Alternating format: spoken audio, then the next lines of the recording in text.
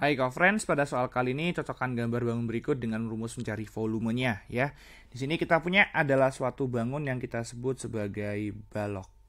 Kali ini balok itu memiliki yaitu kita punya yang namanya panjang atau rusuk terpanjang pada sisi alas, lalu lebar yaitu rusuk yang lainnya pada sisi alas dan juga tinggi yaitu rusuk tegaknya. Seperti itu. Kali ini kita punya untuk mencari yaitu adalah volume dari balok, rumusnya itu adalah sama dengan panjang kita kalikan lebar, lalu kita kalikan dengan tinggi. Maka dari itu kita punya di sini yaitu adalah jawabannya adalah yang ini ya. V sama dengan P itu adalah panjang, L adalah lebar ya. Ini P, ini L, ini kita punya T tinggi. Seperti itu. Jawabannya adalah yang ini. Sudah ketemu ya kok friends jawabannya, maka dari itu jangan pernah menyerah untuk belajar dan tetap semangat belajar kok friends.